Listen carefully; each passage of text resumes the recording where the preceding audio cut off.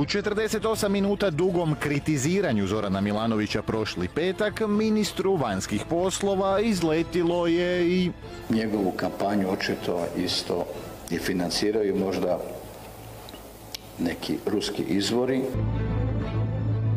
očito možda, to je ta poznata očito možda strategija. Dokazi njet. Postoje li neki dokaze za to?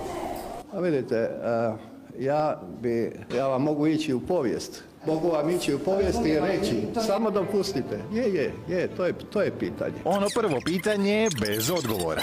Meritum je da je predsjednik nekog tuži da prima novac od Rusa. To je vrlo velika, teška optužba. Vidite, ja, mi- ja, ja mogu to samo, ja to mogu samo protumačiti da se ljudi pitaju. Dakle, nema nikakvih dokaza, indicija Ja, ja, ja to, ja sigurno nemam. Hvala. Sigurno nema, ali očito možda aludira i HDZ-ov predsjednički kandidat.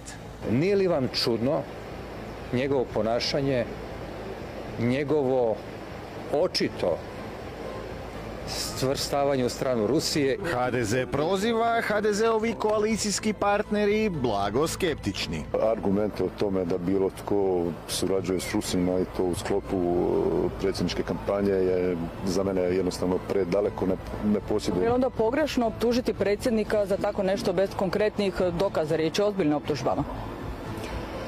Govorio sam i govorit ću stalno da li e, svako od nas sam određuje kako će se ponašati. Ako vam se sve ovo čini kao deja vu, da. Već smo imali sličnih optužbi. Miroslav Škoro je ruski igrač. Svojedobno je neutemeljeno tvrdio i Tomislav Tomašević. Nikola Grmoja je govorio HDZ pogoni ruski kapital. Hvala.